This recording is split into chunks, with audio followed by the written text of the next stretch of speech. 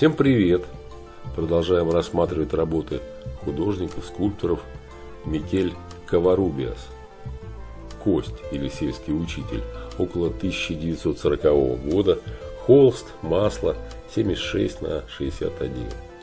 Наследие талантливого мексиканского живописца, карикатуриста, декоратора, этнографа и коллекционера индейских древностей Мигеля Каварубиаса необыкновенно разнообразно. Многие образы его работ наделены жизненностью и переданы с чувством глубокой иронии. В углу комнаты изображен представитель коренных народов Мексики, одетый в плотно застегнутый темный костюм западного образца и шляпу.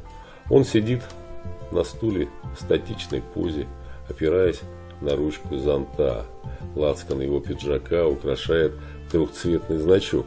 Это эмблема национальной революционной партии, игравшей в те годы доминирующую роль в государстве.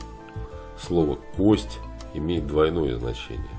Так на местном сленге называли должность, приобретенную по знакомству. Ну, вот такое описание к работе Мигеля Каварубиаса «Кость» или «Сельский учитель» я нашел в интернете.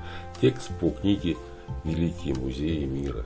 Пока-пока, до свидания, смотрим работу. До свидания.